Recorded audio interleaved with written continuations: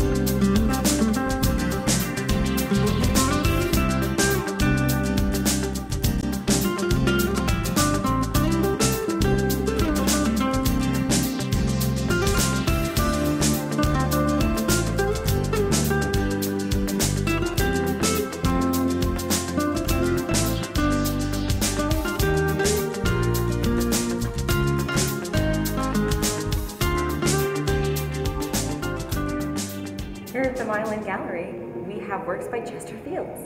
He's one of our American artists, one of many American artists that we carry here at the Milan Gallery. Behind me, we have the eagle, symbolism of America's great, strong culture.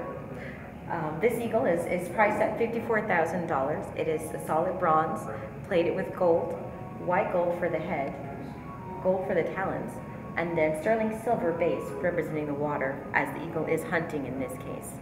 Chester Fields does a lot of eagle works, but he also works with other fowl birds, including geese, owls, hawks, and other birds of American nature.